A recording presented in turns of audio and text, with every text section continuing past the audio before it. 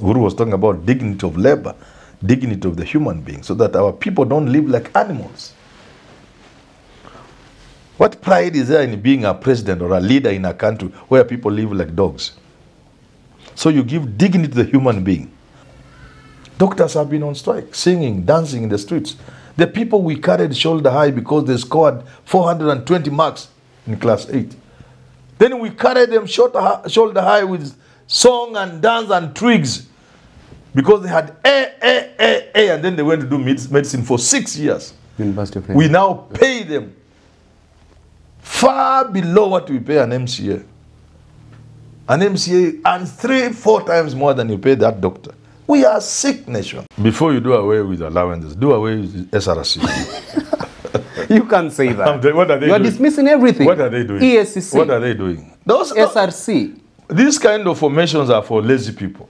Either they are too lazy to think, which is true of us as a country, or it's a smokescreen to send us into sleep as bad things happen.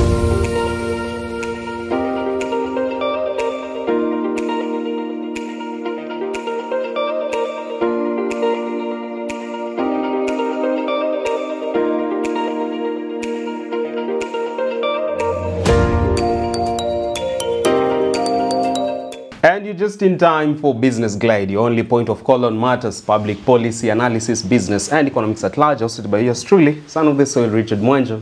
Indeed, it's always a distinct honor to have you on board. And now to help me dissect the day's conversation is none other than Kenya's most sought after political analyst and public policy analysis, the first of his name, Herman Bon Manyora. How are you, sir? Fine. Uh, let's uh, get straight to the day's conversation. And we are talking matters to do with the president promising better tidings for the nation, especially in the forthcoming financial year. And he says the 2024-2025 budget will be prudent and uncountable, which begs the question from my side, are we finally seeing the president capture the imaginations of the nation? I Hope so. And we pray so. Evidence again on the ground doesn't seem to indicate that's the case. What I've seen the figures they are throwing around. Four point something trillion. When they could hardly finance the 3.3 trillion budget. There could be more doom on the way? Of course.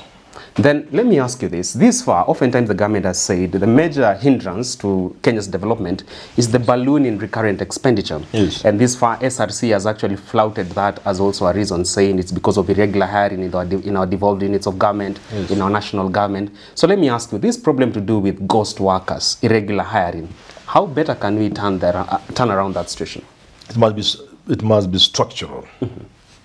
But it must be born out of honesty and thick, quick thinking and serious thinking. Can you probably uh, tap into the advice of our lenders, IMF, World Bank? Can we go by their sanctions No. maybe to revitalize our never, economy? they have never said anything good. Nothing, nothing from IMF works. Look at the post-COVID, Nothing good ever comes from World Bank. Nothing. post-COVID recovery measures that they shared No, with us. forget about them. In fact, if you look at the philosophy behind the formation of IMF uh, and the World Bank, it's not for Africa. What we call World Bank is actually Bank of the, uh, Reconstruction and Development. Reconstruction for Europe after the First World, Second World War, to reconstruct Europe. And development for Africa that comes with conditionalities. The sort of, the sort of development that can only sustain the reconstruction and the reconstructed Europe. You get it? So you reconstruct Europe. You look for resources to reconstruct after the war, the destruction. But you take development of Africa with all the conditionalities. And you manage the development in such a way there will never be any development. Because Europe, the success of Europe is the failure of Africa.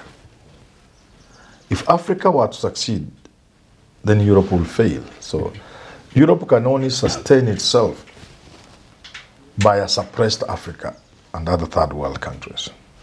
But then we are here to build some sense of self-reliance. What could be the long-hanging fruit that we can tap into so that we don't depend on IMF or World Bank or whatever You just look at your own internal resources. That's all. We actually uh, came for the devolved units of government to open up local economies and also ramp up our revenue from the economies that will have been opened up. But this far, the Auditor General's office is the control of budget. They have come forth and put some uh, disappointing remarks whereby a county government spends less than 10% of its budget on development, spending more on recurrent. So would you say then that devolved units are the biggest enemy when it comes to development of the country? You know, we were not the first people to set up set up develop developed governments to come up with some form of federal arrangement, semi-autonomy as autonomous region. We were not the first, so we would have benefited from hindsight. We would have benefited from what happened in Nigeria when they started being regional, Majimbo. We would have even looked at how it worked in Kenya immediately after independence before we scrapped it. So we had everything going for us, but we never used it. The structures are weak, the laws, supporting laws are weak, governors are rogue. So, Are you saying we rushed into devolved units no, of government? there was a lot of time, but there was no thinking. Typical of Kenyans, no thinking in anything. Even the constitution making process was devoid of any thinking. There was no thinking. They were just copy pasting things. But the new crop of leaders who are just, well, most of them two, uh, slightly one and a half years into office, new governors on board, do they sort of uh, put some sense of confidence in you that they, they're going to turn They around can't. How can they? The process of selection is as good as the product and the process thereafter. We have a poor process of selecting our leaders, and there are no, no, no structures. There are no regulations. There's no thinking. What does every governor do? He our employees because you want to endear yourself to the people by rewarding your people, by ensuring you'll be re-elected. What do you do? The easiest, the lowest hanging fruit is employment. So you end up overemploying. Secondly, you end up giving contracts to cronies so that part of the money they give you to strengthen your war chest for the next election. So unless you approach those kind of things, and I've said it's a very simple thing. We must think, number one, we must be serious and honest with ourselves. If we have the clear choice, and I've said so so many times, if we are happy remaining a poor, dirty third world country, let's go on like that. But if we want to move away from this, where over 80% of the citizens live an animal's life, a dog's life, I cannot be a leader in a country where people live in those conditions, like in Kibra and Kawangware. I will not sleep in State House. I will not sleep. Sleep will not come. I have to embark immediately on a program to transform the lives of Kenyans so that they live like human beings in the 21st century. So we have the clear choice. So when it comes to over- overemployment, is it a very difficult thing to say no governor will employ anybody? Then who does We just sourcing? create we just create what I've said, a national employment bureau. A centralized one? National Employment Bureau.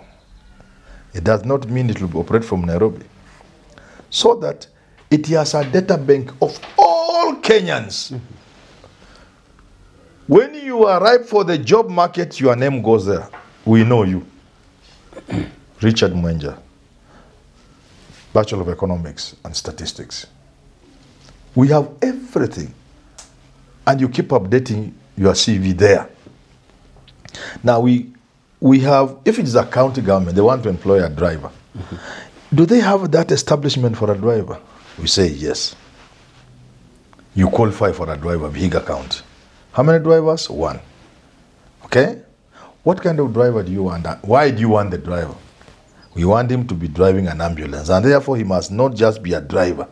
He must have these qualifications. Okay? Yes. We go to our data bank and give you. Meritocracy takes the front row Yeah. seat? No Kenyan will ever look for a job through somebody. First of all, you will have solved so many problems. Social equity. Because you don't you not need to know anybody to get a job. Secondly, nobody will overemploy because they don't have the power to employ. The criteria, the criteria for, for, for, for promotion is there, for transfer, everything. Discipline, the criteria is there. It is it's just self-generated. You don't even need to talk to anybody. You at the press of a button, Kakamega County gets 10 nurses. Instead of them going to Saudi Arabia? No, they just get 10 nurses because the, the, the space is there, it is clear. You go in the system and you see seven nurses retired, two died, one went to America. 10 vacancies are there. This caliber of nurse, you go to the system, button, tan, tan, tan, tan. Kakamega, you got 10 nurses. Don't need to, to- you don't need to talk to anybody. Therefore, there will be no over-establishment. Uh-huh. Even projects, the governor all of a sudden has become an engineer to know which road to be done and how much and how it should be done. What training did he have in, in road construction? Is he an engineer? Are they fist Are managing? MCS engineers? Generally, they are not. Of course, you can be there as an engineer, but uh, are MCS engineers? Is that one of the qualifications? Is, so we must have an arrangement where the MP, the MPs in a county, participate in the project identification with the people of the constituency, and finally with the people of the county. And then the governor is given resources to implement those projects. But line ministries are the ones doing the actual implementation. So the government, the governor ensures that the road is being done the way people wanted it to be done. It is a road. So engineers are not playing games. The MP and the MCA make sure what the people asked is what is being done. But the governor cannot be the one to determine which road, how much it will cost, with small, small scribbling of the county engineer. No! Line ministries must supervise. And to tamp down on such impunity and graft in our devolved units of mm. government, the government has tried to empower graft fighting agencies through capitation and other measures, say talk of E EACC, DCI, you name it. But do you, see, do you think there's a missing link and that has to do with enough political goodwill to support the fight, fight against graft? You cannot fight corruption without political goodwill. Pol- corruption can be fought only by one office and one man, the president. Nobody else. If I become president tomorrow, today, Sasit and nimekula oath, the first thing I'll have with a press conference with media houses at 9 tomorrow. And I will tell Kenyan corruption imeisha leo. Kuiba shilingi ya Kenya kana ile uliiba, hiyo tutafikiria baadaye, lakini ile unaiba kuanzia leo. At the end of this press conference, touch one shilling yeah, belonging to Kenyans. Not even ESCC director? Bishop Ogin? I will dismantle that. I don't need it. EACC, I'll remove it. I'll go to the people of Kenya in a referendum. They will remove that EACC. Because you put it there to show you are doing when you are not doing. Small, you know, no. People who fight corruption don't have EACC, don't have, they just have officers. These are thieves. Why do you need this, uh, EACC for thieves? People who steal money, you just send a policeman to arrest them and prosecute them and arrest them and they are in committee wanakula maharage. You can do that? I will do it in, In under five in years six months. There will be no, there will be no. If I'm the president, six months hakuna wizi hata moja. You can't touch Kenyan money when I'm the president. You will not. Will you seal the loopholes? Some... Even now, if the government gives me 30 days, mm -hmm. I go to Mombasa. I, I will seal all the loopholes. Substandard fertilizer and everything. Nothing. It will be a thing of the past. I've told even procurement. There will be no procurement. I'll abolish that department. There is no department called procurement. Government procurement. No, and there will not nothing. If you're an officer, we know what you need. It has been approved. You buy a TV in your office. You just go and buy a TV. If you say you are a director of agriculture, and agriculture has the approval to buy nine vehicles, which kind of vehicle? This type of vehicle. Just go to Toyota Kenya and buy. You don't need procurement. Just go and buy. But Toyota Kenya will also know. We know when they brought 20 units, we are taking 10 out of the 20. We know how much they sold those other 10 for. So they can't lie us. They are paying us taxes when they brought in those Toyotas, all right? So we know how much they are costing. So they can't lie to government and in the system. So if you go to a dealer, he sells the government a Toyota Land Cruiser at 20 million when he has been selling the same same vehicle at 10 million to the public. We blacklist him. He will never do business with government. And they will not like that. Will, so so it is a, you don't need procurement for anything. Procurement is a way of promoting theft. Then again, now to leave room for enough funds for development expenditure, do you subscribe to the argument that we need to support SRC in its case to make sure they do away with some allowances for public servants, most of which are facilitative allowances and so forth? Before you do away with allowances, do away with SRC. You can't say that. what are they you are doing? dismissing everything. What are they doing? EACC, What are they doing? Those, SRC. these kind of formations are for lazy people. Either they are too lazy to think, which is true of us as a country, or is a smokescreen to send us into sleep as bad things happen. SRC go, we know what we need. We know, my friend, we know we need to give Kenyans living salaries, living wages. We know what the minimum salary can be. For an average person to live, we know. We don't need SRC. Do you have a rough figure? We have a rough figure, Which is? which is like in the region of about 50, 45, between, at the very least in Nairobi, be- 40,000 should be average salary of the lowest paid Kenyan. Can we afford it? Why not? There's money to steal. And there's no thinking to generate revenue. We need to think to generate revenue. Today we are generating 2 trillion in a country that should be generating 10 trillion. So what are you talking about? They're thinking. How can we move revenue collection? How can we generate, not even collect, generate? I prefer to use the word generate than collect. From 2 trillion that we hardly make to 10 trillion, 12 trillion. Without donor reliance? Yeah, we don't, I never deal with donors if I'm the president. Then we pay the least paid person 40, 45, 50,000 shillings in Nairobi. And there is benefit to that. First, there's dignity. Uhuru was talking about dignity of labor, dignity of the human being, so that our people don't live like animals. What pride is there in being a president or a leader in a country where people live like dogs? So you give dignity to the human being.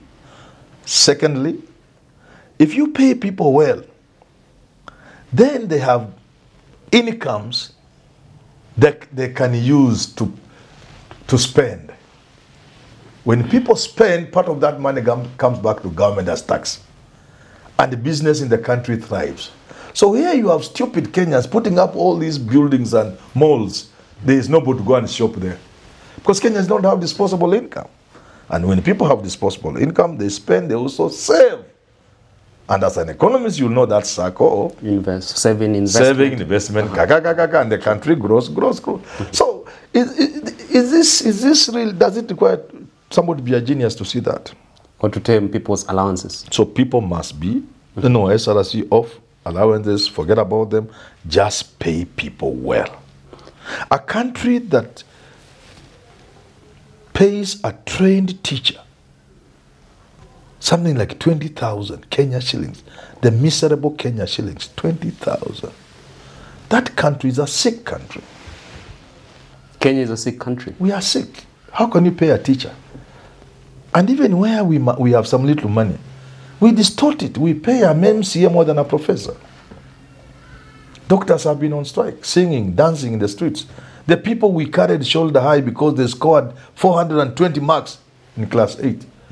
Then we carried them shoulder high, with song and dance and twigs because they had A, A, A, A, and then they went to do medicine for six years. University of We now pay them far below what we pay an MCA. An MCA earns three, four times more than you pay that doctor. We are a sick nation. We are not normal people. We are just sick. You get what I'm saying? Sure. Yeah. Even at a time when CS Nakumicha says their interns were willing to do that work for free. Don't talk of the word CS and put Nakumicha there. They, the two can mix. Who is she then? She's not a CS. Management by intimidation, you No, say? That's just this country has to be serious. we have the clear choice. And I've said it. We have the clear choice. To be a laughing stock of the, the world, to let our people live like dogs in conditions that people even didn't live in in the 17th century, 18th century. Our people are living in those conditions. Children going with jiggers in the legs in the 21st century, jiggers in the toes. We have that choice. But we have the choice to look for serious Kenyans to run ministries and not give them to clowns. Are you signaling that when it comes to president's appointments, uh, in, in the case of meritocracy, CS Nahumicha sort of is the butt of all jokes? She's a joke. She can, she's a good person. She's even beautiful. She's a lawyer like me. but a minister she cannot be. Not in a serious place where people are serious, where people know there's a really threat that the society can collapse. That cancer is a killer. We need people heading the ministry to think about preventive and community health, to think about the foods Kenyans use, to think things along FDA in America. What enters this country as food and medicine? What are Kenyans eating on a daily basis? What are the interve- interventions necessary to prevent cancer that is ravaging the whole country? Nakumija is not capable of that kind of thinking. She's a good person. But for heaven's sake, why are you being unfair to her? You can't be so unfair to other people. You are being unfair to her. Why are you giving her job she can do? Give there are jobs she can do. Give her. You could do better yourself. Not me. Me, I'm beyond that. Me, I, the only thing I can do is to be like president of this country. Not small jobs like those. There are people like you who can do those small jobs of minister. or Bruno Teatro. Yeah, yeah, such. Not me. Me, I am beyond that. Very well. I'm saying there are Kenyans I get it. who can do those jobs. Mm-hmm. And those who we are saying can't do, we are not saying they are bad Kenyans. Mm-hmm. We are not even saying they are not qualified. But there are other jobs they can do. I don't know whether you get what I'm saying. True. There are jobs people like Nakhumicha can do. True. And many people in cabinet are good people. Some of them are my friends. Mm-hmm. There are many good things they can do. Some of them can just be promoted, supported, do business, but not be ministers. you get it? I get it. Eh? I get Some of them can work in bombers of Kenya to organize entertainment for, but not to be a cabinet secretary. A cabinet secretary is a custodian of big things, a thinker, a generator of policy, a person who helps the president realize his dream. It can't just be anybody you pick from the streets. Deep thinking like that of your friend Kipruto Arab Kirwa Yeah. when he was then Minister for Agriculture. Yeah, Kipruto is a serious Kenyan. Deep thinker. Yeah, people who can think like those ones. There you have your time now for a fan of the week. It is none other than Kevin Kinuthia in Germany. Kevin Kinuthia in Germany, Mm -hmm. Ujerumani. Yeah, sure. Asante sana Kevin. Asante sana. Ana kukaribisha kwake uh, Amagoro Park in Trans Nzoia Oh, that's nice, wonderful place. Yeah. Ah, good. I wish I could afford it. It's a nice place. for big boys. I was only. foolish enough to go there and ask the cost. I say, oh God, no wonder I was told hii ni Raila, hii ya fulani. I say, okay, fine. But at least he's gracious enough. eating fruits of independence. At only 33 years, you can imagine. Yeah, wonderful. Is that Amagoro Park? Yeah, Oh, sure. wonderful. It's a good, by the way, it's a wonderful place. Amagoro Park is a wonderful. eh, You just look at there. I went there, mm -hmm. walked, then I went to the people in charge. Asked them. They told me, okay, ah, Manyora, yeah, you, you should be here. Your friends are here. Hii ni ya fulani, hii ni ya fulani. So you should be here. Then I was told the price, the cost. I said, God. I just walked. I just, I just walked out. Silently. I said, I told them I'm in the wrong place. And in the wrong profession, maybe. Yeah, no, no. Professions are never wrong. Okay. It's not always about money. Uh-huh. No. There's a bigger is- calling. There are bigger things. We we con- we made our contribution in this world. You consider history uh, that it will have a place for you? Of course, we've shaped we've shaped public opinion. We, uh, as a teacher, I've taught people right from. I was an adult education teacher, Mwalimu wa Gumbaro. I was a secondary school teacher, UT trained teacher. I've taught at university for many years. Surely I must have made my contribution. I'm in public space now, as you and I are contributing. We made our contribution. We don't really need to have money. We need a bit of it, and that's why we're asking our viewers to support us. Yeah, sure. Just to run this show, True. not to be rich. I don't even want to be rich. No. Very well, there you have it. We never take your support for granted and we invite you to partner with us in ways you can. Until next time on Business Glide, it's always a distinct honor to have you on board. Do enjoy the rest of your day.